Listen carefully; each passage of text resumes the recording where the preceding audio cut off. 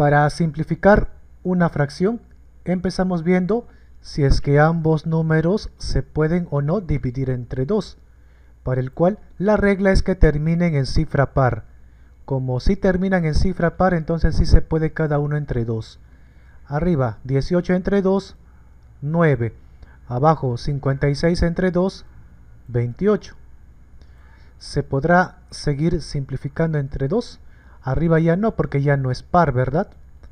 Es más, este 9 entre el único número de abajo que puede ser dividido es entre 3, solo entre él. Pero justo el 28 no se puede entre ese número, por eso termina ahí. Así que la respuesta es 9 28 avos.